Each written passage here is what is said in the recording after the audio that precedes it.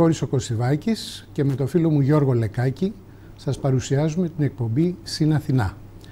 Η εκπομπή μας ε, όλο το καλοκαίρι συντρόφευσε τους Έλληνες από 21 επαρχιακούς σταθμούς με διάφορα θέματα, τα οποία πολλοί από εσάς θα τα έχετε δει ήδη και θεωρούμε ότι η επιτυχία των εκπομπών αυτών μας υποχρεώνει να συνεχίσουμε αυτή την προσπάθεια που κάναμε.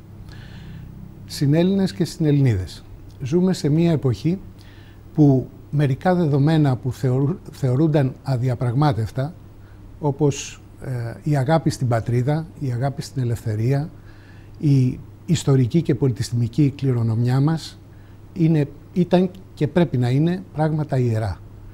Όμως, παρατηρούμε εδώ και αρκετό καιρό μία προσπάθεια απαξίωσης αυτών των όρων και αυτών των ενιών, γεγονός που μας υποχρεώνει να αναζητήσουμε αφενός τις αιτίες γιατί γίνεται αυτή η υποβολημαία και δόλια προσπάθεια εις βάρος του ελληνισμού και της ελληνικής ιστορικής και πολιτισμικής παράδοσης και δεύτερον να προσπαθήσουμε να αντιστρέψουμε αυτό το ρεύμα.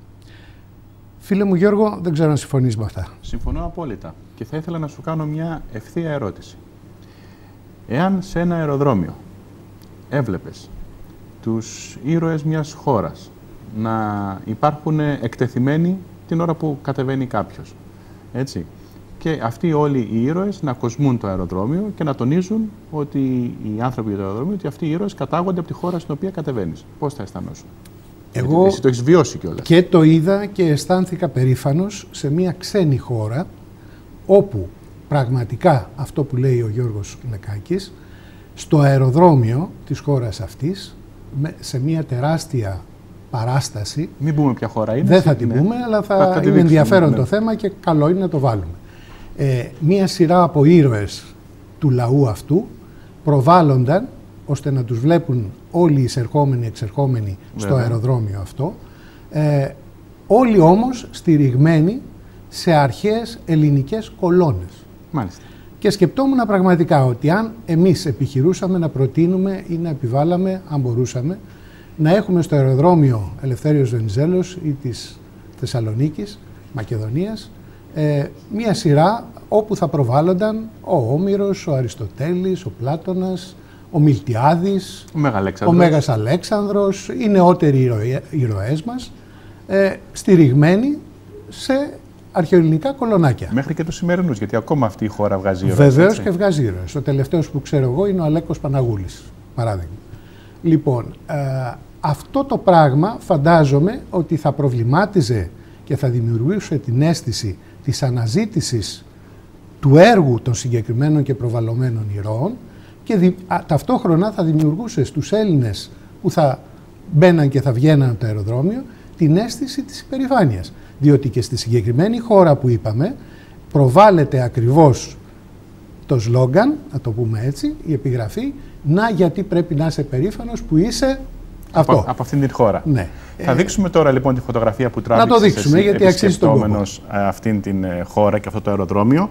Είναι αυτή η φωτογραφία, φίλες και φίλοι, που βλέπετε, που τράβηξε ο Γρηγόρης ο Κωσιβάκη.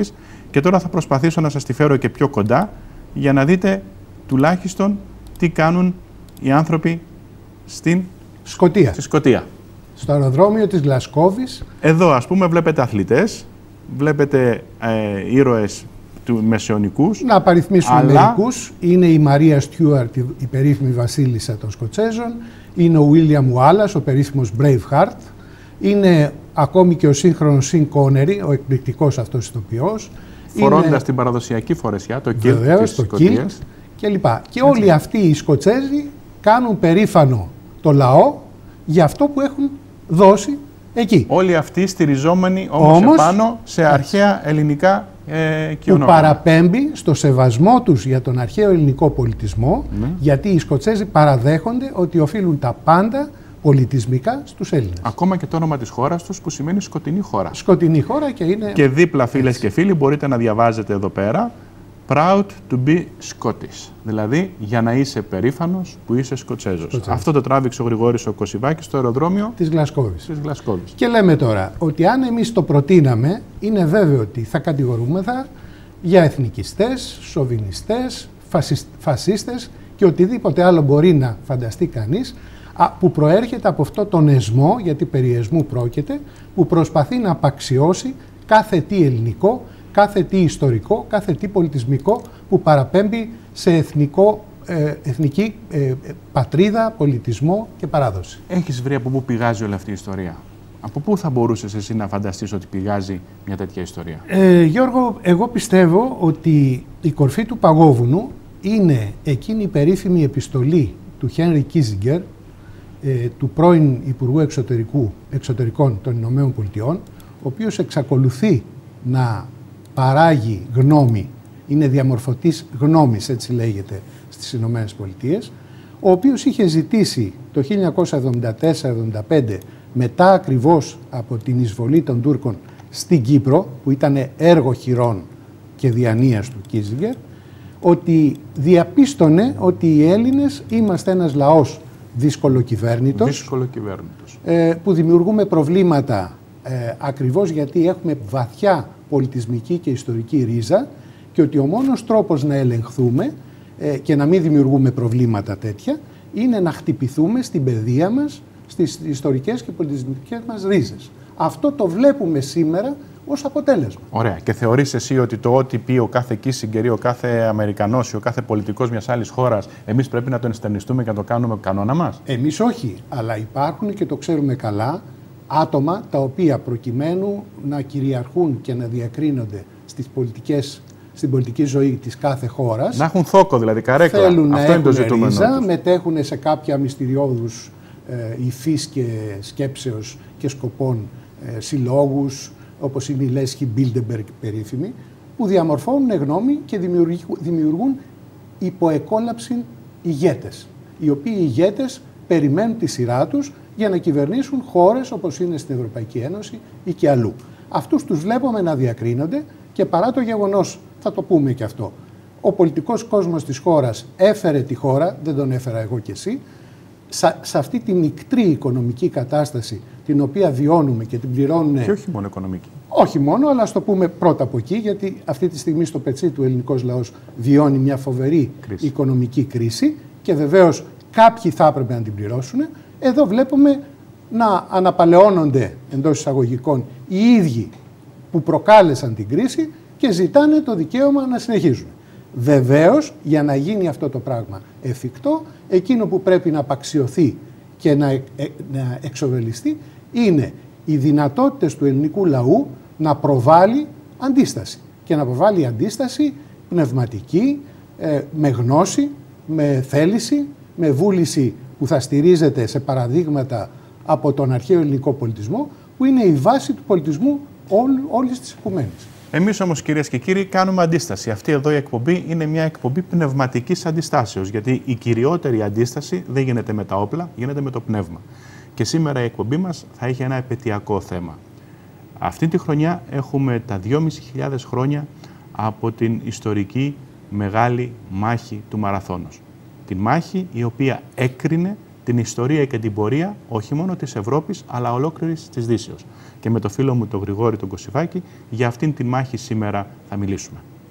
Λοιπόν, Γρηγόρη, μάχη μαραθώνος. Μάχη μαραθώνος. Τι σου έρχεται στο νου καταρχήν όταν ακούς αυτές τις δύο λέξεις; Εμένα μου έρχονται πολλά, αλλά πρέπει να βάλουμε ένα πλαίσιο γιατί οι ακροατές μας πρέπει να θυμηθούν ότι δεν είναι απλώς οι τέσσερις ώρες της μάχης Φυσικά. που έχουν τη σημασία. Έχει σημασία το πριν και το μετά. Και βεβαίως και η διάρκεια της μάχης γιατί έχει πολλά ενδιαφέροντα και θα τα πούμε. Είμαστε στο 500 περίπου π.Χ. και η Περσική Αυτοκρατορία, η τότε υπεριαλιστική δύναμη που έχει κατακυριεύσει τις χώρες και τους λαούς από τις Ινδίες μέχρι τα παράλια της Μικράς Ασίας. Ρωσία, Σκυθία, έχει ανέβει Έχει ανέβει και στη Σκυθία και λοιπά, ναι. αν και εκεί έπαθε κάτι στραπατσάκια. λοιπόν, από τους τότε ελεύθερους σκύθες.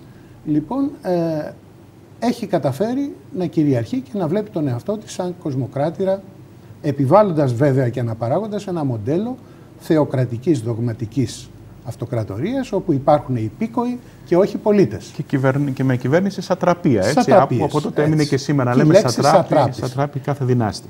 Αν λοιπόν έχουμε ένα τέτοιο μοντέλο διακυβέρνησης και απέναντι υπάρχει ένα μοντέλο το αρχαίο ελληνικό, των μικρών πολλών ανεξαρτήτων πόλεων που αναπαράγεται ο δημόσιος διάλογος στην αγορά, όπου υπάρχει το θέατρο, όπου μπορείς να διακομωδήσεις και να ε, λιδωρήσεις τους ηγέτες σου, όπου υπάρχει δυνατότητα να εξωστρακίσεις ε, κάποιον ο οποίος φαίνεται να δείχνει ότι μπορεί να αμφισβητήσει το δημοκρατικό πολίτευμα. Ήδη έχει προηγηθεί ο Κλεισθένης στην Αθήνα και οι μεταρρυθμίσεις αυτές είναι η παραγωγή για πρώτη φορά στην ιστορία του κόσμου, δεν ξέρουμε για τα παρετέρω, αλλά τουλάχιστον από όσο γνωρίζουμε, ενός μοντέλου ελεύθερων πολιτών που μπορούν να βουλεύονται, να μαθαίνουν, γιατί υπάρχει η παιδεία από τότε και δεν είναι διαβίου μάθησης, είναι παιδεία, να το τονίσουμε αυτό, και να γυμνάζονται και να θεωρούν ότι η υπεράσπιση της πατρίδας τους, αυτής της μικρής αλλά πολύτιμης πατρίδας τους είναι το ύψιστο αγαθό. Κρατώντας, συμπληρώνω, η κάθε πόλη τη δική της κληρονομιά πολιτιστική. Θεούς δικούς της, με επίθετα σε κάθε θεό που ταιριάζουν και τις Όποιος τους αρέσει. Όποιος εδώ αρέσει. ο Απόλλωνας, εδώ η Άρτεμις, εκεί η Αθηνά. Με ένα επίθετο μπροστά που ταιριάζει στην ιστορία του τόπου. Έτσι. Του τόπου, ακριβώς. Αυτό λοιπόν είναι ένα πολύ μεγάλο ε, αγκάθι σε μια κοσμοκράτηρα υπεριαλιστική δύναμη γιατί εν σπέρματι περιέχει εκείνη ακριβώς την, ε, την αιτία που μπορεί να κάνει να επαναστατήσουν οι ήδη υπόδουλοι λαοί της. Ξεκινάει λοιπόν από τις μικρασιατικές πόλεις, φτάνει μέχρι την καταστροφή της Μιλίτου, που είναι η σπουδαιότερη και πιο πολύτιμη πόλη των Ελλήνων στη Μικρά Ασία, αλλά και όλες τις άλλες, και θέλει με πρόσχημα ότι οι Αθηναίοι και οι Ερετρείς ήθελαν να βοηθήσουν τους Μικρασιάτες, αδελφούς, ε, είχαν στείλει κάποια καράβια και κάποια δύναμη στρατιωτική, αποφασίζει να εκστρατεύσει και να τους τιμωρήσει. Η πρώτη απόπειρα τιμωρείται από το ίδιο το αιγαιακό δυναμικό, γιατί ο στόλος καταστρέφεται στο Άγιο Όρος επάνω, στην Χερσόνησο του Άθο, όχι Άγιο Όρος, ε, τότε, Χερσόνησο Και όμως τότε ήταν ιερό βουνό της Αρτέμιδος. Αλλά για γυναίκες. Ναι. Και όχι και είχε το άβατο για τους άντρες. Έτσι πράγμα. Λοιπόν, ε, καταστρέφεται ο στόλος, γυρνάει πίσω ο στρατός. Να υπενθυμίσω ότι την διόρυγα αυτή που σήμερα δεν υπάρχει την έχει βρει ο κύριος Παπαμαρινόπουλος με έρευνες που έχει κάνει γεωλογικές. Αλλά επιξέρξει 10 ναι, ναι, ναι. χρόνια μετά. Η, αυτή η διόρυγα υπήρχε πάντως, το άνοιγμα αυτό έχει βρεθεί. Ε, είμαστε λοιπόν στο 490 και εκστρατεύουν ε, οι περσικές δυνάμεις, Πέρσι, Μίδες, Σάκες, και διάφορα άλλα φύλλα, τα οποία ξεκινώντας από τα παράλια της Μικράς Ασίας, περνάνε πρώτα από την Άξο, ε, ευνηδιάζουν τους Ναξίους και καταλαμβάνουν το νησί, κατευθύνονται στην Ερέτρια, την οποία πολιορκούν και δυστυχώς, επειδή το έχουμε αυτό το φαινόμενο, βρεθήκαν κάποιοι προδότες, ανοίξαν τις πόρτες και ο λαός της Ερέτριας έγινε ολοκαύτωμα, εξανδραποδίστηκαν όσοι γλιτώσανε και μεταφέρθηκαν στα βάθη της Ασίας όπου τους συνάντησε τους απογόνους τους, αυτό το κάνω σαν παρέκβαση, ο Μέγας Αλέξανδρος όταν απελευθερώνοντας τις πόλεις της Μικράς Ασίας και προχωρώντας προς το βάθος, συνάντησε τους απογόνους των εχμάλωτων Ερετριαίων. Να Είναι συγκινητικό αυτό. Να θυμίσουμε εδώ για τον κόσμο που ακούει Ερέτρια και σου λέει μα, μα ολόκληρη η Περσική Αυτοκρατορία με την Ερέτρια πήγε να τα βάλει. Θεωρώντας σήμερα ότι η Ερέτρια είναι ένα χωριό της Ευεία. Ναι. Τότε η Ερέτρια κατήχε θαυμαστό στόλο και θαυμαστές τριήρεις. Ήταν η πόλη με τις ωραιότερες και ισχυρότερες τριήρεις. Ναι. Έτσι λοιπόν ήταν φόβος και τρόμος για οποιοδήποτε στόλο έπλε στο Αιγαίο. Και παρά την καταστροφή, το Μουσείο της Ερέτριας, το αρχαιολογικό, έχει πολύ σημαντικά ευρήματα και είναι επισκέψιμο και το συνιστούμε. Και της Καλκίδα και της Ερέτριας. Συνεχίζουμε λοιπόν. Ε, λοιπόν εύκολα σχετικά την Ερέτρια, αποφασίζουν οι Πέρσες αρχηγοί, Θάτης και Αρθαφέρνης, να οδηγήσουν το στόλο στην, ε, στο Μαραθώνα. Εκεί όπου είναι σήμερα αυτή η παραλία μεγάλη, ο Σκηνιάς, έχουν γίνει γνωστές Ολυμπιακές εγκαταστάσεις που κατά κάποιο τρόπο έχουν αλλοιώσει το τοπίο και εκεί αποβιβάζουν το στρατό τους, πεζικό, Ένα τεράστιο και μεταγωγικά. Για την εποχή έτσι. Θεωρείται ότι ήταν γύρω στι 60 με 65 τουλάχιστον Ένα στρατό που οι Αθηναίοι δεν είχαν ξαναδεί στα μάτια τους μπροστά, ναι. μπροστά στην πόλη τους. Ε, τώρα, εδώ πρέπει να πούμε ότι και στην Αθήνα υπήρχε το φαινόμενο των προδοτών εν δυνάμει. Γιατί; Ο προηγούμενος τύρανος των Αθηναίων, ο Ιππίας, ο οποίος έφυγε πρωτοπάδι, είχε καταφύγει στην αυλή του βασιλιά Δαρίου τότε. και ε, ζητούσε τη βοήθεια των Περσών για να, επανέλθει. Είχε και οπαδούς οι οποίοι θα βλέπαν με καλό μάτι αυτή την επάνωδο του δικού τους και ήταν έτοιμοι και αυτοί να κάνουν κάποια ενέργεια που θα βοηθούσε τους Πέρσες. Γι' αυτό και δεν εκστράτευσε ολόκληρος ο Αθηναϊκός στρατός στο Μαραθώνα, έστειλαν μόνο 10.000, χίλιους από κάθε φυλή, ήταν οι 10 φυλές του Κλεισθένη και πήγαν από χίλια άτομα. Ε, χίλιοπλήτες με επικεφαλής στο στρατηγό της κάθε φυλής. Αυτό κάτι δείχνει όμως, έτσι. Δημοκρατικότητα και στο στρατό. Ναι. Γιατί; Και η ηγεσία του στρατού ήταν δημοκρατική, γιατί; Κάθε μέρα ήταν επικεφαλής όλων ένας, ένας στρατηγός της κάθε φυλής. Υπήρχε βεβαίως και ο πολέμαρχος, που στην προκειμένη περίπτωση λεγόταν Καλήμαχος και απέδειξε ότι ήταν όντως Καλήμαχος, ε, ο οποίος είχε και τον πρώτο λόγο ε, με τη δική του βαρύνουσα γνώμη.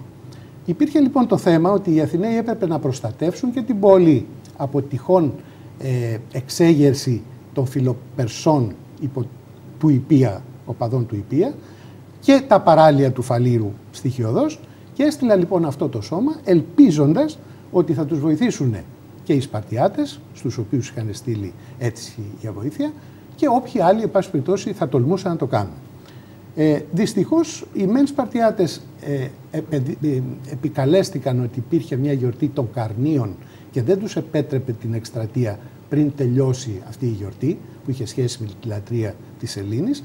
Ε, οι δε άλλες πόλεις από τρόμο δεν στείλαν βοήθεια. Πλην των πλατεών, οι οποίοι εξεστράτευσαν πανστρατιά, περίπου χίλιο πλήτες, οι οποίοι έφτασαν και παρετάχθησαν στο αριστερό των Αθηναίων. Αλλά πράγματι να πούμε γι' αυτό, οι Σπαρτιάτες μόλις τέλειωσε η γιορτή ξεκίνησαν να στείλουν. Το... Ναι, ήρθαν, έτσι, έστω και εκ των υστέρων ήρθαν. Αλλά το θέμα είναι ότι δεν πήραν μέρος στη μέρος. μάχη. Τι γίνεται τώρα; Μεταξύ των στρατηγών που στρατηγεύουν επικεφαλής της φυλής τους είναι και κάποιος Μιλτιάδης. Ο Μιλτιάδης είχε μία θητεία ως ε, άρχοντας μιας πόλης στη, στη Μικρασία, στο Βόσπορο περίπου, ε, όπου είχε έρθει σε επαφή με τους Πέρσες και ήξερε τον τρόπο που πολεμούν και διοικούν. Έχοντας λοιπόν αυτή την εμπειρία, ε, ζήτησε να γίνει άμεσα η, μάχη, ε, θεωρώντας ότι είχε τον τρόπο και το σχέδιο να μπορεί να τους αντιμετωπίσει. Ε, εκεί υπήρξε αυτή η δημοκρατικότητα στο στράτευμα και στην ηγεσία παραλίγο να κάνει κακό. Γιατί οι πέντε από τους στρατηγούς θέλανε να οπισθοχωρήσουν στην Αθήνα, οι δε άλλοι πέντε ήθελαν να γίνει η μάχη στο πεδίο αυτό του Μαραδόνα. Ναι. Ε, χάρη στην πειθό του Μιλτιάδη προς τον πολέμαρχο Καλίμαχο, ε, αποφασίστηκε τελικώς και ευτυχώς να γίνει η μάχη εκεί. Είναι από εκείνες τις λεπτές στιγμές της ιστορίας που παίρνετε μια απόφαση, ξέρεις, σε ένα δευτερόλεπτο ή σε μια συνεδρίαση που αλλάζει έναν ρου ολόκληρο, έτσι; Και παίζει ρόλο για αιώνες. Και παίζει ρόλο και ακόμα σήμερα. Και θα πούμε και γιατί παίζει ρόλο ακόμα και σήμερα. Ε, εκεί λοιπόν υπάρχει κάτι το οποίο θα πρέπει να το επισημάνουμε. Έχουμε 10.000 συν χίλιους πλατεείς, 10.000 Αθηναίους και χίλιους πλατεείς. Η αντιμετώπιση ενός στρατού υπερδιπλάσιου των Περσών, του οποίου όμως τον τρόπο που παρατάσσεται και πολεμά τον γνωρίζει ο Μιλτιάδης, του δίνει την σκέψη και την ιδέα το πώς θα τους αντιμετωπίσει. Ε, είναι ίσως γνωστό, αλλά καλό είναι να το επαναλάβουμε. Ξέροντας ότι το κέντρο της παράταξης το καταλάβαναν οι καθεαυτού Πέρσες, οι πιστοί στο βασιλιά και κατά κύριο λόγο οι πασπιστές, οι πασπιστές του, οι λεγόμενοι αθάνατοι, που ήταν ας πούμε το, η αφρόκρεμα του Περσικού στρατού, έβαζαν στα άκρα τους υποτα... υποταγμένους λαούς που δεν είχαν και τόση προθυμία. και ναι, κάτι τέτοιο. Ε, για να τους αντιμετωπίσει λοιπόν ο Μιλτιάδης έκανε το εξής. Άφησε στο κέντρο της παράταξης δύο από τις δέκα φυλές, δηλαδή 2.000 άντρες, αλλά με κεφαλής δύο ε, μετέπειτα πολύ γνωστούς Αθηναίους που έδρασαν, τον Θεμιστοκλή και τον Αριστίδη, οι οποίοι ήταν άξιοι να κρατήσουν την ηγεσία των δύο αυτών ολιγάριθμων ας πούμε ε, στρατιωτικών τμήματων, τα οποία θα καταλάμβαναν τη θέση στο κέντρο. Σε διακόπτω, αλλά βλέπουμε ένα σχεδιάγραμμα εδώ πέρα το οποίο βοηθάει αρκετά. Ναι. Και να πούμε ότι το έχουμε πάρει από το περιοδικό. Στρατιωτική ιστορία, βεβαίως. Στρατιωτική ιστορία είναι και το έχει. σχεδίασμα της κυρίας Δήμητρας Μιτσού, εξαιρετικής σχεδιάστριας. Και ε, πολύ ωραία παράσταση. Με την τους ότι ε, μπορούμε να το προβάλλουμε, να το δουν οι Έλληνες. Ένα περιοδικό που είχε κάνει ένα τεύχος αφιερωμένο στη μάχη του Μαραθώνους και να το βρείτε να το πάρετε. Πολύ σημαντικό. Και Φαίνεται λοιπόν εκεί ότι είναι παρατεταγμένοι οι Αθηναίοι έχοντας τέσσερις στο δεξιό πλευρό ε, χιλιάδες, τέσσερις φυλές δηλαδή, και τέσσερις στο αριστερό συν τους πλατεείς, ώστε να υπάρχει δυνατότητα της κάμψεως από τα αριστερά για να σπροχθούν οι Πέρσες και προς το έλος που είναι ακριβώς πίσω τους. Ναι. Ξεκινώντας λοιπόν η μάχη, εδώ παίζει ρόλο και κάτι άλλο. Παίζει ο χρόνος σημασία.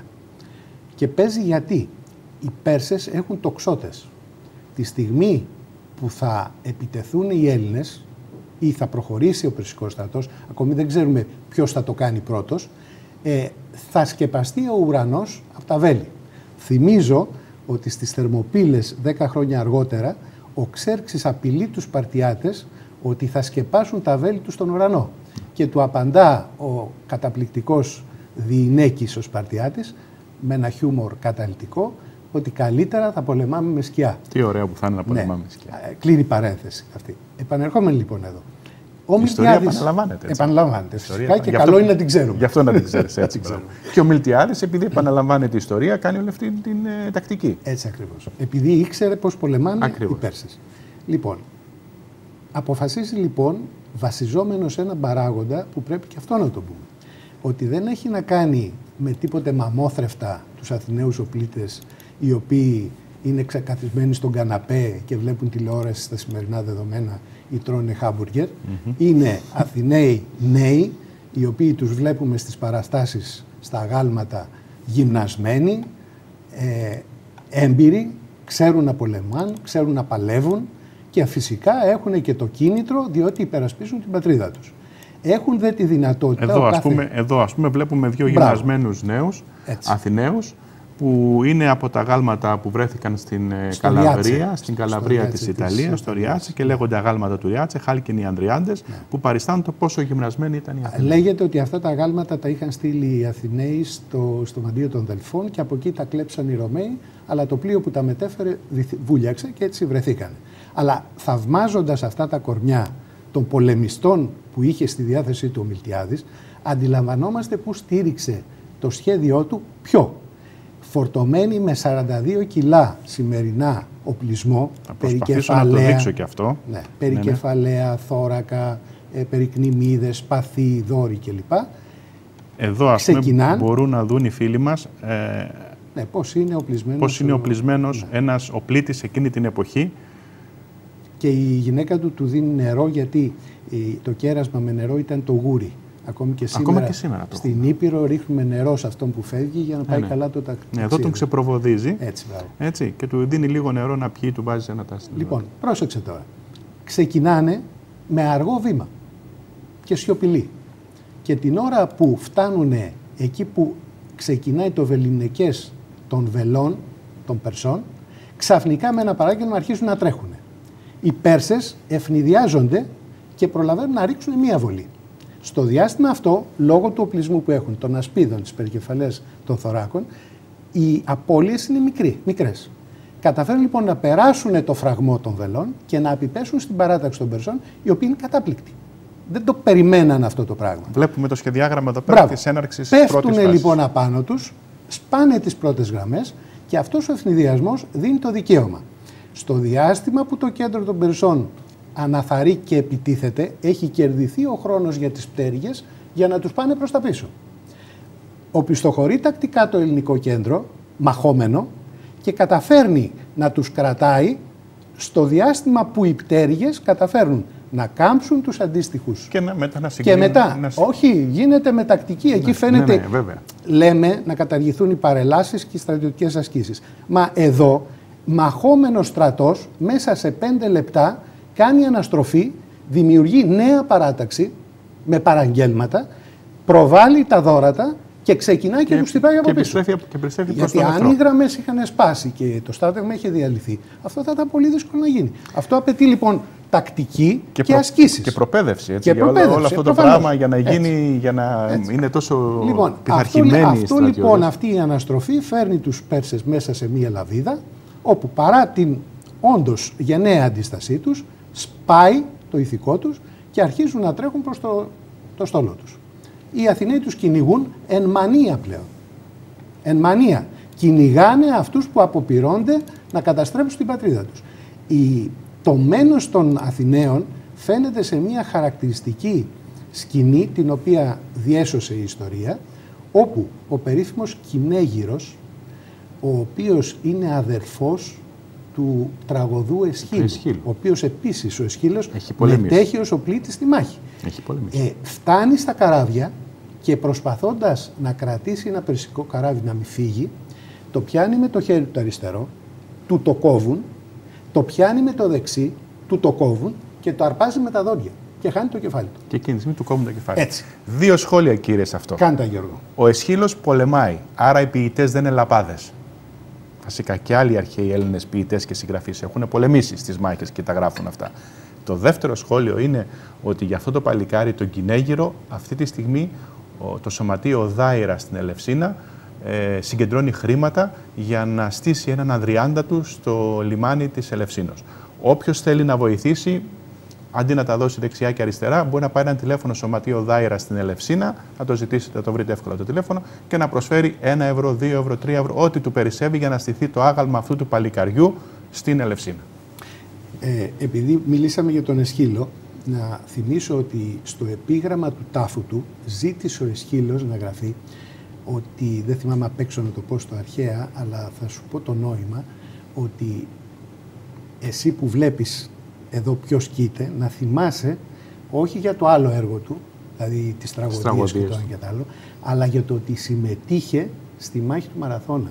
Και ο Μακρυμάλης Μίδος είδε την Ανδρία του. Έτσι. Πολύ ωραία να κλείσουμε με αυτή την σκέψη και την, ε, να το καταλάβει και ο ελληνικός λαός που μας ακούει αυτή τη στιγμή τι σημαίνει να είσαι Ανδρείος και τι σημαίνει να πολεμάς και να περασπίζεσαι τα εδάφη τα εδάφη σου και την πατρίδα σου. Έτσι, να μην ζητάς τίποτα παραπάνω, αλλά να υπερασπίζεσαι αυτά που έχεις. Θα κάνουμε ένα μικρό διάλειμμα για διαφημίσεις και θα επανέλθουμε σε λίγο με την δεύτερη φάση και το τέλος της μάχης του μαραθώνου.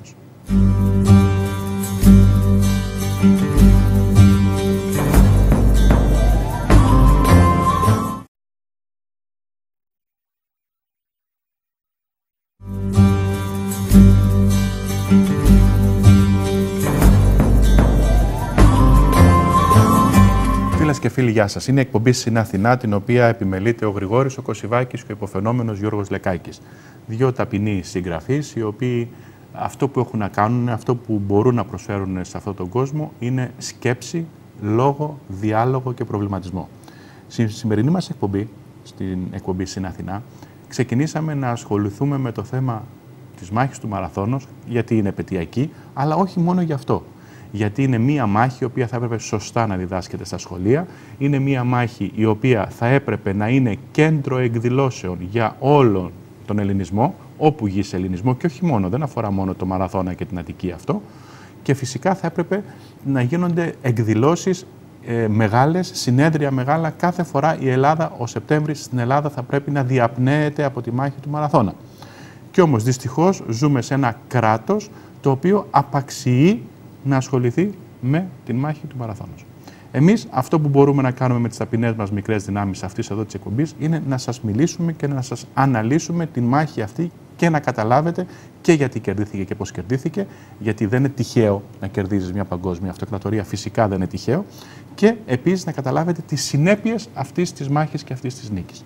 Ήμασταν λοιπόν γρηγόροι στην ε, στιγμή που ο Κινέγυρος ε, σκοτώνεται με αυτόν τον σπουδαίο τρόπο σπουδαίο τρόπο. και φαντάζομαι ότι και οι υπόλοιποι οπλίτες οι οποίοι μάχονται έχουν το ίδιο μένος και την ε, διάθεση να ρημάξουν τους Πέρσες ώστε να απομακρύνουν τον κίνδυνο οριστικά. Δυστυχώς όμως οι Πέρσες διαθέτουν εκείνη τη στιγμή στόλο που οι Αθηναίοι δεν έχουν. Ναι. Αργότερα θα τον αποκτήσουν. Οι δύο Πέρσες αρχηγοί σκέφτονται ότι αφού ο Αθηνο... Αθηναϊκός στρατός νικητής μεν, αλλά εγκλωβισμένος είναι στην πεδιάδα του Μαραθώνα, είναι ευκαιρία να μπουν στα καράβια, να παρακάμψουν την Αττική από κάτω από το Σούνιο και να βρεθούν στο, φαλιρι... φαλυρική ακτή. Να τους ευνηδιάσουν. Που ήταν και λογικότερο να έρθουν εκεί πέρα κατευθείαν, έτσι. Γιατί... Ναι, αλλά είπαμε ότι έτσι έγινε η επιλογή λόγω της προηγηθήσης πολιορκίας της Ερέτριας και τους ήταν πολύ κοντά. Ίσως και γιατί στην περιοχή του Μαραθώνα είχε τα ερίσματά του ο Ιππίας που είπαμε πριν. Μπορεί. Έτσι. Ξεκινάει λοιπόν Μπορεί ο να στόχος... προσδοκούσε και μια προδοσία εκεί πέρα, αλλά Ναι. βέβαια πριν φτάσουμε εκεί πρέπει να πούμε κάτι το οποίο και εσύ θα συμφωνήσεις, ότι τη στιγμή της μάχης και αυτού του θριάμβου καλέστηκαν νοερά όλοι οι ήρωες, οι πεθαμένοι νεκροί και οι πρόγονοι να συμμετάσχουν. Ναι, λένε ότι είδανε προγόνους μαχόμενους. Τον Τον Ηρακλή, Θησέα. τον Θησέα. Ο Θησέας, Ναι, ναι. νεκρός Να μάχεται. έτσι ήδη, Ναι. έλεγαν οι στρατιώτες ότι τον είδαν να έρχεται μαζί τους και να συμπολεμάει δίπλα τους. Καταλαβαίνεις τι θάρρος και τι ψυχική βοήθεια ήταν για τον Βεβαίως. ε, μαχόμενο αυτό Βεβαίως. και να πούμε και τη διαχρονικότητα αυτής της ιστορίας. Στη μάχη του 40 οι πολεμιστές μας πάνω στην Πίνδο έβλεπαν δίπλα τους την Παναγία. Ναι. Να λοιπόν η ιστορικότητα και η συνέχεια του ελληνικού λαού. Τα πρόσωπα αλλάζουν, όμως η ουσία μένει ίδια. Σε μια δύσκολη μάχη χρειάζεσαι όλους τους προγόνους σου. Γι' αυτό πρέπει- πρέπει και να τους ξέρεις και να τους τιμάς και να τους εκτιμάς. Ακριβώς αυτό που είπες, ότι όταν έγινε ο Ελληνο- Ελληνοϊταλικός πόλεμος, όλες οι εφημερίδες, όλα τα ε, ζωγραφικά, τα, Τα τραγούδια. εικονιστικά Τα τραγούδια. κείμενα που βγήκαν, έδειχναν τον Έλληνα οπλίτη να μάχεται έχοντας πίσω του το μαραθωνομάχο. Ναι. Η παραπομπή στον αρχαίο Έλληνα πολεμιστή, από τον οποίο οι σημερινοί Έλληνες κατάγονται. Και αυτό δεν μπορεί κανείς να μας το πάρει. Και το εξώφυλλο του βιβλίου σου που είναι από πίσω με τον υπηρετικό διαχρονικό ελληνισμό Ναι. είναι αυτή Ακριβώς ακριβώς αυτή η συνέχεια. Είναι συνέχεια. πίνακα του Εγκονόπουλου να πούμε και είναι ο... Όλη, όλη η Μάκεδονας σημασία είναι στο χέρι που απλώνει ο Λεωνίδας στον Παύλο Μελά. Αυτό το χέρι είναι η συνέχεια στον του πίνακα. ελληνισμού. Αλλά όλη η σημασία είναι να μάθουμε ότι είμαστε ένας ενιαίος και διαχρονικός ίδιος λαός Ίδιος με λαός. τα ίδια ήθη, τα ίδια έθιμα, την ίδια γλώσσα έτσι, που συνεχίζει αλλάζοντας κατά Και να μην καιρούς. τρεπόμαστε να λέμε τις λέξεις έθνος και πατρίδα, την οποία προσπαθούν, τις οποίες προσπαθούν να τις απαλείψουν από το λεξιλόγιο. Παρακολουθήστε να μιλάνε υπουργοί και πρωθυπουργοί και να μην λένε τις λέξεις αυτές. Αλλά κι αν τις λένε θα πρέπει να μπει το ερώτημα τι εννοούν. Ναι. Γιατί αν το να, ξέρουν. θα πρέπει να μας πούνε αυτοί οι άνθρωποι γιατί πολέμησαν οι Αθηναίοι. Έτσι, μπράβο. Ε, πάω λοιπόν στο θέμα αυτό που είπαμε πριν, με την αποχώρηση των Περσών από την, από το, την παραλία του Μαραθώνα, την προσπάθεια να παρακάψουν το Σούνιο και να ευνηδιάσουν τους Αθηναίους από κάτω. Ο Μιλτιάδης αντιλαμβάνεται τι σημαίνει αυτή η αποχώρηση του στόλου και αφήνοντας την Λεοντίδα Φιλή υπό τον Αριστίδη, τον επιλεγόμενο και δίκαιο, να φυλάει τα λάφυρα, τα οποία ήταν πάρα πολλά, Πάρα πολλά ήταν. όλος ο υπόλοιπος στρατός ξεκινάει με βήμα ταχύ, με όλο αυτό τον οπλισμό που προηγούμενα αναφέραμε και ξεκινάει, ανεβαίνει από τις υπόρειες της Πεντέλης, περνάει από το στενό που είναι η Εκάλη η Κηφισιά και κατηφορίζει παράλληλα με τον Κηφισό ποταμό, φτάνει στην Αθήνα και κατεβαίνει στο Φάληρο και παρατάσσεται στην παραλία. Φανταστείτε λοιπόν τι όχι μόνο ψυχικές αλλά τι σωματικές δυνάμεις είχαν αυτά τα παλικάρια, τα γυμναζόμενα και τα προετοιμαζόμενα για τον οποιοδήποτε κίνδυνο θα αντιμετώπιζε η πατρίδα τους και τον αντιμετώπισε, να βρεθούν στην άλλη άκρη της Αττικής με τις λόγχες προτεταμένες, οπότε οι Πέρσες γύρισαν τις πλώρες και έφυγαν. Υπενθυμίζω ότι αυτός ο, αυτή η απόσταση που σήμερα λέγεται μαραθώνιος δρόμος γίνεται από αθλητές πάρα πολύ γυμνασμένους, σπουδαίους αθλητές, αλλά χωρίς να κουβαλάνε Χωρίς τίποτα. οπλισμό και όχι μετά από μάχη. και όχι, και όχι, και με- όχι μέχρι το φάληρο, γιατί σταματάει στο Παναθηναϊκό στάδιο. Έτσι, ακριβώς, ο για να δρόμος. καταλάβει ο κόσμος τι, Τι σημαίνει αυτό το πράγμα του- και τι άνδρες ήταν αυτοί. Εν πάση περιπτώσει. Και τι μητέρες και πατεράδες είχαν. Ε, πάμε τώρα στη σημασία. Γιατί έγινε μια μάχη και έληξε. Πριν πας εκεί, Ναι. να πούμε και ένα-δυο ε, έτσι, χαρακτηριστικά στιγμιότυπα της μάχης του Μαραθώνας, ναι, τα οποία ναι, κάνουν βεβαίως. πάντα εντύπωση. Ε, και ο κόσμος πρέπει να τα ξέρει, γιατί το υπερφυσικό και το παραμύθι πάντα ε, ερχόταν δίπλα σε μια σπουδαία ιστορική νίκη για να Συμφωνώ. δώσει διάσταση και να μπορεί να είναι αρεστός σε αυτόν που το ακούει. Έχουμε στη μάχη να συμμετέχει ένας παράξενος στρατιώτης με το όνομα Εχετλέος, ο οποίος δεν είναι από τους στρατιώτες του τακτικού στρατού, δεν ξέρει κανείς από πού ήρθε αυτός ο τύπος, είναι αγρότης στην εμφάνιση, δεν έχει εξάρτηση στρατιώτου και ο οποίος πολεμάει με ένα ινί. με ένα άρωτρο. Με ένα μεγάλο άρωτρο. Από αυτό που οργώνουν τη γη. Το οποίο είναι τόσο μεγάλο και τόσο δύσκολο να κυβερνηθεί και να οδηγηθεί αυτό, που με αυτό το ινί παίρνει φαλάγγι τους Πέρσες, σαν να είναι βολβή από μαρούλια, από κρεμμύδια. Αυτός μετά, όπως ήρθε και όπως έκανε ό,τι έκανε, που όλοι τρόμαξαν στη θωριά του και του όπλου του και του ιδίου, έτσι και εξαφανίστηκε. εξαφανίστηκε. Κανείς δεν ξέρει από πού ήρθε και πώς έφυγε. Είναι από τα μυστήρια και τα ερωτηματικά της μάχης του Μαραθώνος. Αν είναι να δώσουμε μια εξήγηση, είναι ακριβώς ο ανεξάρτητος, όπως τον είπε αγρότη, πολίτη, οτιδήποτε, ο οποίος δεν είναι ενταγμένος στο στράτευμα, αλλά νιώθει την ανάγκη να υπερασπίσει την πατρίδα. Με ό,τι όπλο έχει. Με Γιατί αν θυμάσαι και στην Πίνδο κάτι γυναίκες πήγαιναν με κλαδιά και με. Εμένα που είμαι πυρότης το λες τώρα, χωρί τις υπηρώτησες. να κουβαλάνε και ριζόταν ο πόλεμος. Ακριβώς. Με ό,τι είχαν. Το, το έχουν πει όλοι οι στρατηγοί. Πάμε λοιπόν, κλείσαμε εδώ τη μάχη του Μαραθώνου και πάμε να μιλήσουμε. Στη σημασία της. Να πούμε για τη σημασία της. Αυτό είχε. Να πούμε καταρχήν ότι ο περίφημος Ρωμαίος συγγραφέας, ο Κορνίλιος Νέπος, αιώνες ολόκληρους μετά, βρήκε να πει ότι από τότε που έγινε η μάχη του Μαραθώνα μέχρι τις ημέρες μου, ενώ έχουν δηλαδή διαδραματιστεί φοβερά και τρομερά γεγονότα, τι λέει; Δεν έχει συμβεί τίποτε σπουδαιότερο από αυτό. Δηλαδή αυτό επιγραμματικά. Και έχει σημασία ποιος το λέει. Και ποιος το λέει; Ο, ο συγγραφέας, ο Ρωμαίος, ο κατακτητής της Ελλάδος. Και όμως το λέει. Γιατί το λέει; Γιατί πραγματικά αν αναλογιστούμε τι θα συνέβαινε αν οι Πέρσες νικούσαν, αν οι Πέρσες καταλάμβαναν την Αθήνα και με όσα πράξανε μετά από 10 χρόνια θα τα πράτανε 10 χρόνια προηγούμενα, καταλαβαίνουμε ότι δεν θα είχαμε καθόλου το χρυσό αιώνα του Περικλή. Δεν θα είχαμε Ακρόπολη, δεν θα είχαμε Παρθενώνα, δεν θα είχαμε Φιδία, δεν θα είχαμε τίποτε από αυτό που θεωρείται στην παγκόσμια ιστορία της ανθρωπότητας το διάστημα εκείνο που παρήγαγε τον πολιτισμό, τον προήγαγε σε τέτοια ύψη και σε τέτοια μεγέθη που είναι η ακένωτη πηγή από την οποία τροφοδοτείται ο παγκόσμιος πολιτισμός μέχρι σήμερα. Ναι. Και να πούμε ότι αυτή η περίοδος στην οποία μόλις ο κ. Κωσιβάκη σας εξέθεσε είναι η μόνη περίοδος στον κόσμο που αποφάσισαν οι ιστορικοί να την ονομάσουν Χρυσό αιώνα. Χρυσό αιώνα. Δεν την ονόμασαν οι Έλληνες Χρυσό αιώνα αυτή την εποχή, ούτε οι, εκείνες, οι άνθρωποι εκείνης εποχής ήξεραν ότι ζουν τον Χρυσό αιώνα. Την ονόμασαν οι ιστορικοί του μέλλοντος και κυρίως οι Γερμανοί. Οι Γερμανοί ιστορικοί ονόμασαν την περίοδο εκείνη της Αθήνας, των Αθηνών, γιατί η Αθήνα είναι πολλές πόλεις ενωμένες, άρα είναι πληθυντικός, την περίοδο εκείνη των Αθηνών ως χρυσό αιώνα της ανθρωπότητα.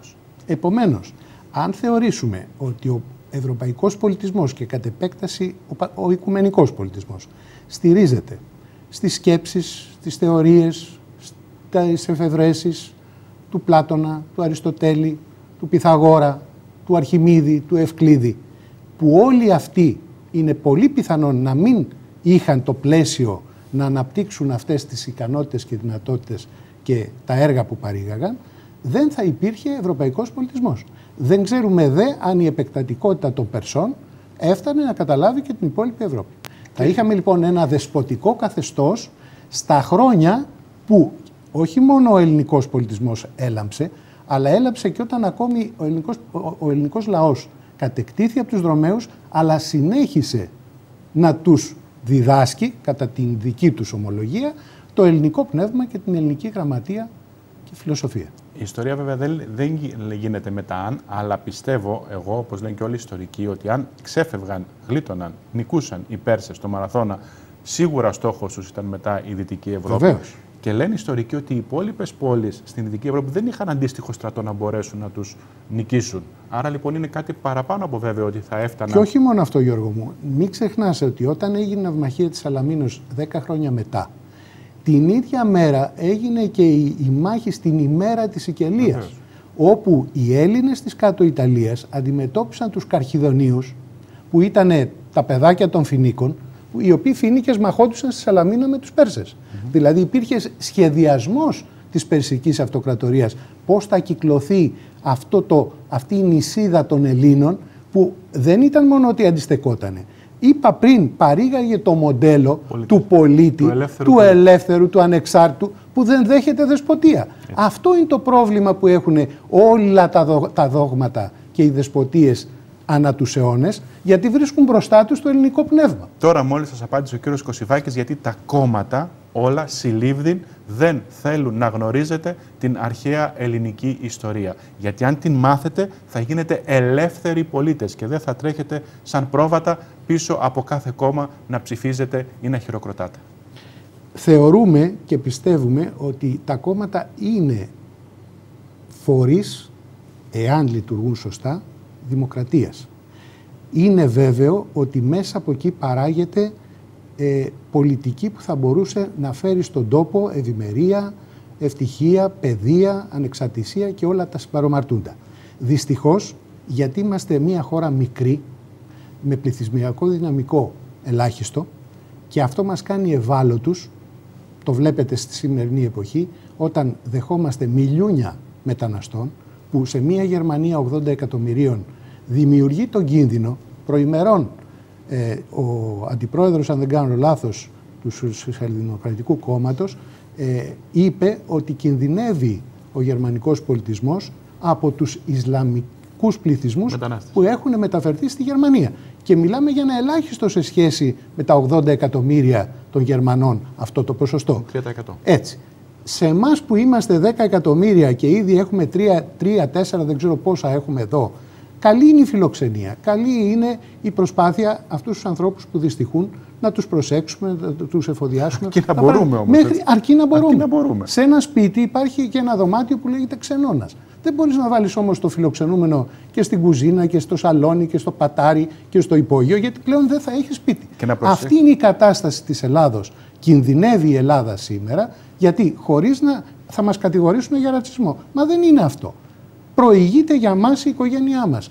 Αγαπάμε τους γείτονες, αλλά δεν μπορούμε να τους φιλοξενούμε. Δεν μπορεί να, να δυστυχήσει η δική σου οικογένεια για να. Και για ποιο λόγο να θέλουμε να έχουμε ανθρώπους οι οποίοι σεβαστό, σεβαστή και η θρησκεία τους. Η Ισλαμική. Αλλά φανταστείτε και έχετε γνώση τι σημαίνει αυτό. Ξέρετε ότι τα παιδάκια αυτά υφίστανται περιτομή. Ξέρετε ότι τα κορίτσια τους υφίστανται κλει... κλει... Ε, ακριβώς το είπες και μπερδεύτηκα. Λοιπόν, και κυκλοφορούν με τις μπουρκες και με τις κελεμπίες και όλα αυτά. Είναι αυτά τα οποία ζηλέψαμε σαν λαός. Δεν έχουμε εμείς αυτή την παράδοση των αρχαίων Ελλήνων με τα γυμναστήριά τους, με τις φιλοσοφικές τους σχολές, με τις μουσικές τους.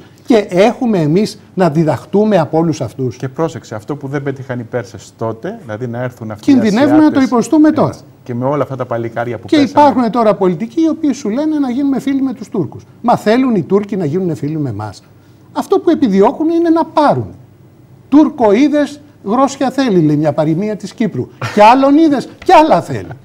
Είναι δυνατόν λοιπόν να υπάρχουν ηγέτες που δεν ξέρουν ιστορία ότι ο Τούρκος δεν πιάνεται φίλος; Γιατί είναι από τη φύση του επεκτατικός και δεν έχουμε να δώσουμε άλλα. Στο δικό μου χωριό λένε μια παροιμία. Ο λύκος φίλος δεν γίνεται.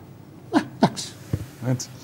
Όλα αυτά είναι απόρριες της ε, μάχης του μαραθώνος. Μην σας φαίνεται περίεργο. Η μάχη του μαραθώνος έχει μέχρι σήμερα ακόμα διάφορες επεκτάσεις και προεκτάσεις.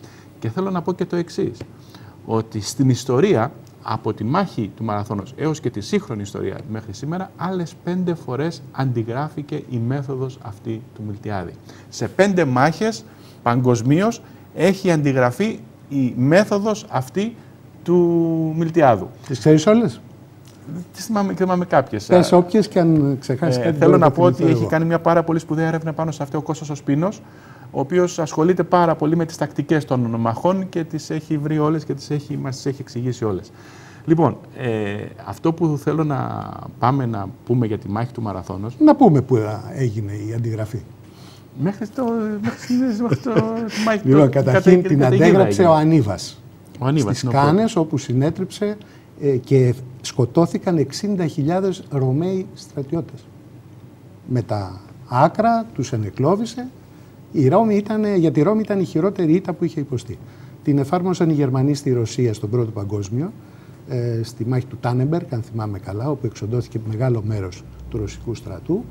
Ε, αν θυμάμαι καλά, πρέπει να το συνεδίασε και ο Ναπολέον ε, στο Αούστερλιτς, μπορεί, νομίζω και εκεί ότι πρέπει να έγινε. Ε, υπάρχουν και άλλες δύο-τρει ναι, περιπτώσεις. Μέχρι τότε πρόσφατα. Μέχρι το δι, διδάσκεται στις στρατιωτικές σχολές όλου του κόσμου. Αλλά όχι ως μάχη του μαραθώνα. Όχι βέβαια. Όχι ως μάχη του μαραθώνα. Από εκεί ξεκίνησε η πλαγιοκόπηση ναι, ναι, ναι, με τις φάλαγγες. Λοιπόν, εκτός από αυτό όμως ήθελα να πούμε και κάτι ακόμα. Να θυμίσουμε ότι ο μαραθώνιος δρόμος, κάθε φορά που τον βλέπουμε και χαιρόμαστε αυτούς τους αθλητές που τρέχουν αυτά τα 42 χιλιόμετρα, έχει τις ρίζες του σε αυτήν την, σε αυτήν την μάχη που ήρθε να αναγγείλει τη νίκη ένας ε, ο πλήτης, ο οποίος, θα πούμε και κάτι που ίσως να μην το ξέρουν οι κάτοικοι των βορείων προαστίων, ο οποίος ερχόμενος να αναγγείλει τη νίκη στην Αθήνα, έκανε δύο στάσεις. Η μία στάση ήταν σε ένα πηγάδι στην ε, περιοχή που σήμερα λέγεται Σταμάτα, γιατί σταμάτησε εκεί πέρα να κάνει μια στάση να πάρει μια ανάσα. Να πάρει νερό. Η δεύτερη στο πηγάδι να πάρει νερό, να πάρει μια αναψυχή και η περιοχή ονομάζεται από τότε ψυχικό. Και η τρίτη στάση ήταν περίπου εκεί που είναι σήμερα το στάδιο του, το Παναθηναϊκό, το, στάδιο. το Παναθηναϊκό στάδιο περίπου, που ήταν τα ηλίσια παιδεία εκεί πέρα με τον Ηλίσιο, ένα υπέροχο τοπίο που δυστυχώς καταστράφει.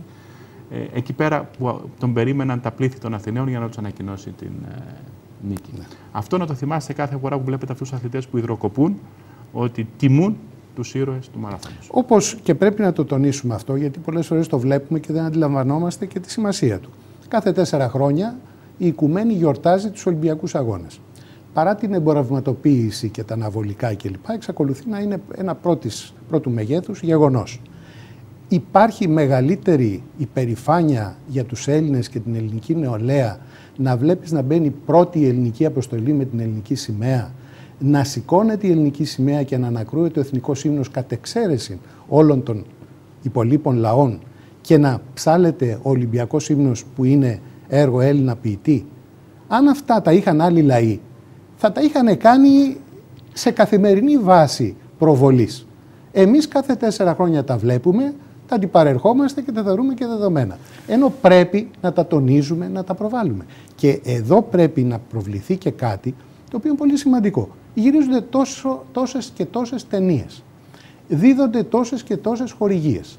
Δεν μπορεί αυτό το Υπουργείο Παιδείας, εγώ έτσι θα εξακολουθήσω να το λέω και ας με παρεξηγήσει η κυρία Διαμαντοπούλου, που θέλει να το λέει διαβίου μάθησης, εγώ θεωρώ ότι η λέξη παιδεία, ο όρος αυτός είναι πολύτιμος και δεν πρέπει να τον χάσουμε.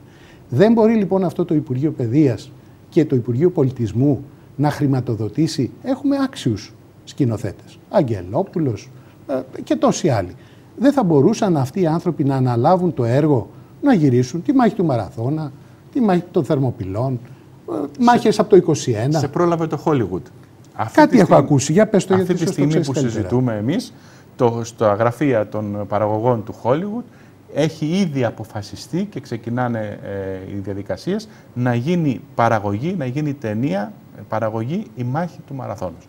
Βεβαίως, Στη μάχη αυτή έχουν μπερδέψει λίγο τα πράγματα. Όπως πάντα ο συνήθως, το Hollywood θέλει να τα εμπορευματοποιήσει. Το είδαμε αυτό και, στο, και στην Τρία και στον Αχηλέα και στον Αλέξανδρο κλπ. Έχουν μπερδέψει λίγο τους ήρωες και βάζουν μέσα κάποιους οι οποίοι δεν είχαν καμία σχέση με τη μάχη. Σε διακόπτω. Συγκεκριμένα θυμάμαι και μου έχει κάνει αλγινή εντύπωση στη μάχη του, των Θερμοπυλών που περιγράψανε. Παρουσιάζονται οι πέντε έφοροι των Σπαρτιατών ως τέρατα. Ναι. Δηλαδή είναι απίστευτο. Το, το δημοκρατικό στοιχείο στη σπαρτιστική δομή πέραν των βασιλέων είναι η Ακέλα και είναι και, και οι Πεντέφοροι. Αυτοί οι άνθρωποι παρουσιαστήκαν ως τέρατα. Ναι. Ε, απίστευτο. Τουλάχιστον οι έφοροι υπήρχαν όμως στη ναι. Σπάρτη. Ναι. Εδώ στη μάχη του Μαραθώνα, από αυτά που, που έχουν διαρρεύσει τουλάχιστον, υπάρχουν πράγματα και πρόσωπα τα οποία δεν έχουν καμία σχέση με τη μάχη του Μαραθώνα. Τα έχουν μπερδέψει τα πράγματα. Εδώ λοιπόν θεωρώ πως θα έπρεπε να επέμβει το Υπουργείο. Βεβαίως, προληπτικά. πνευματικά δικαιώματα. Υπάρχουν πνευματικά δικαιώματα όταν ε, πας να χρησιμοποιήσεις κάτι το οποίο είναι εθνική. Δηλαδή, αν το κάνανε αυτό για τους Γερμανούς, για τον Καρλομάγνο, θα είχαν σηκωθεί οι Γερμανοί. Είναι βέβαιο. Είναι το σύνταμα. για τους Γάλλους να πούνε μια ταινία για τον Ντεγκόλ ή κάτι. Τον Απολέοντα ή οτιδήποτε. οτιδήποτε. Δεν μπορείς να παραβιάζεις την ιστορία. Δεν μπορείς να τη λες όπως θέλεις εσύ για χάρη οποιασδήποτε εμπορευματοποίησης. Ε, εκεί πρέπει να επέμβει το Υπουργείο και να βάλει και μια επιτροπή Ελλήνων επιστημόνων να παρακολουθήσουν τα σενάρια και να δουν αν είναι και έτσι. Εμείς θα το λέμε, άσχετα δεν θα τα ακούσουν. Ε. Η ιστορία μέχρι τώρα, η ιστορία εννοείται των, των μη επεμβάσεων και παρεμβάσεων υπάρχει. Α το λέμε όμως, να χτυπάμε τις πόρτες. Ναι, λέγε, λέγε όμως το κοπέλι, κάνει τη γριά και θέλει. Έτσι, Γιατί αν ακούγονται οι πολλές φωνές, στο τέλος αυτές δυναμώνονται. Θα πρέπει να πούμε επίσης ότι Κάποιες σποραδικές εκδηλώσεις για τη μάχη του Μαραθώνα έγιναν και στον Μαραθώνα από τοπικούς φορείς, δήμους και άλλους ε, φορείς. Δεν είναι όμως θέμα μόνο του Μαραθώνα ή του τοπικού δήμου ή της τοπικής κοινότητας η μάχη του Μαραθώνος. Είναι πανελλήνιο θέμα, να μην πω πανευρωπαϊκό θέμα η μάχη του Μαραθώνος. Και επίσης κάποιες μικρές ε, εκδηλώσεις γίνανε σποραδικές με κάτι μικρά συμπόσια δεξιά και αριστερά, κάποιες μικρές αιστείες αντίστασης, κάποιοι σύλλογοι, κάποιοι βάλαν μια ομιλία. Ε, ξέρω ότι στις 12 Σεπτεμβρίου θα γίνει κάποια συγκέντρωση στο πεδίο της μάχης του Μαραθώνα και θα πάει κόσμος, δεν ξέρω ποιος έχει αναλάβει την οργάνωση του πλαισίου αυτό, αυτού, αλλά νομίζω ότι κάθε Έλληνας που έχει τη δυνατότητα να πάει, έστω και με την παρουσία του, θεωρώ ότι θα προσφέρει κάτι. Ναι. Και είναι σημαντικό.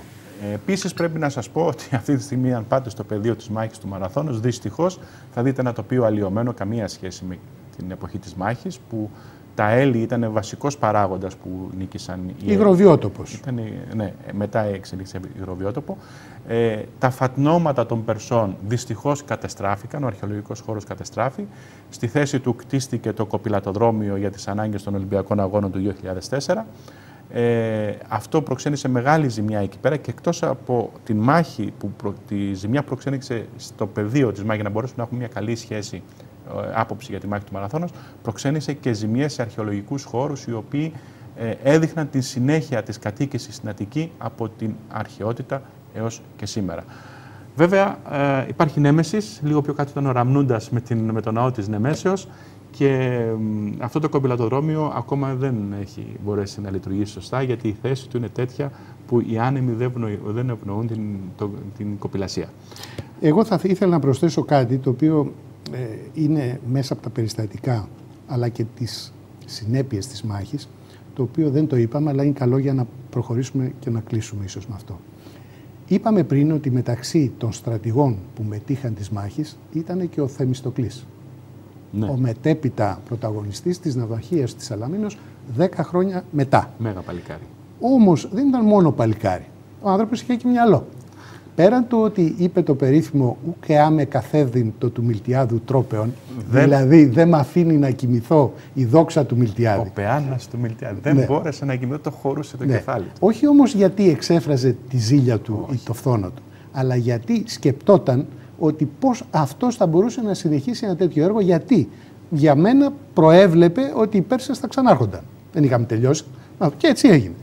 Αυτός λοιπόν ο άνθρωπος, ως άρχοντας πλέον των Αθηναίων στην πορεία της δεκαετίας, και ενώ έχει βρεθεί στο Λαύριο, στα αργυρορυχεία του Λαυρίου, μια τρομερή φλέβα ασημιού, ενώ ήταν θεσμός να κρατιέται ένα 10% για τους ναούς και ένα 90% να μοιράζεται στους πολίτες, κατάφερε να περάσει, και εδώ σκεφτείτε τι υψηλού ε, ήθους και διανοίας ήταν το, το σώμα της Βουλής που συγκεντρωνόταν και άκουγε αυτά που είπε ο Θεμιστοκλής και συνεχεία αποφάσιζε, η Εκκλησία του Δήμου δηλαδή, όπου τους είπε αυτά τα λεφτά να μην τα πάρει ο καθένας από εμάς, αλλά να τα δώσουμε να κάνουμε στόλο. Γιατί οι Πέρσες θα ξανάρθουν και στο μαραθώνα δεν είχαμε μιστόλο. Και με βάση αυτά τα χρήματα, τα οποία δεν μοιραστήκανε να τα πάρει ο καθένας να πάει πάρει κάνα κτηματάκι να κάνει σπιτάκι, φτιάχτηκε ο περίφημος στόλος των 200 τριήρων, που είναι αυτός. Ο οποίος μετά νίκησε. Νίκησε στη Σαλαμίνα. Έτσι σώθηκε η Ελλάδα. Μάλιστα. Ε, έτσι σώθηκε η Ελλάδα, έτσι κλείνει η εκπομπή στην Αθηνά σήμερα αφιερωμένη στην ε, πετειακή μάχη του Μαραθώνος. Θεωρούμε ότι προσπαθήσαμε να σας δώσουμε όσο μπορούμε στο σύντομο χρονικό διάστημα που είχαμε μια όσο γίνεται πληρέστερη περιγραφή της μάχης. Είπαμε για τις επιπτώσεις της μάχης και για τις συνέπειές της, οι οποίες μέχρι σήμερα... Και τα διδάγματα που πρέπει να έχουμε. Τις βλέπουμε. Καλό είναι αυτά τα διδάγματα, αυτή η μάχη να διδάσκεται και στα σχολεία μας, στα παιδιά, στην παιδεία, γιατί γι' αυτό λέγεται παιδεία, γιατί πρέπει να ξεκινάει από τα παιδιά. Έτσι. Λοιπόν, και να μπορέσει κάθε Έλληνας να είναι περήφανος που είχε αυτούς τους προγόνους. Ε, ήθελα να πω το εξής. Δεν ξέρω, δεν είμαι πρόχειρος, έχεις ε, νεότερα παιδιά από μένα. Ρώτησέ τους, υπάρχει στο βιβλίο της ιστορίας τους ε, το περίφημο επίγραμμα του Σιμονίδη που γράφτηκε στο μνημείο στο Μαραθώνα; Ελλήνων προμαχούντες Αθηναίοι Μαραθώνοι, μύδων χρυσοφόρων δύναμη. δύναμη. Δεν το μεταφράζουμε, να μάθουν οι Έλληνες να καταλαβαίνουν και τη γλώσσα των αρχαίων. Λοιπόν, από τον Γρηγόρη Κωσιβάκη και τον Γιώργο Λεκάκη να είστε καλά μέχρι την επόμενη εκπομπή και να διαβάζετε τα αρχαία ελληνικά κείμενα.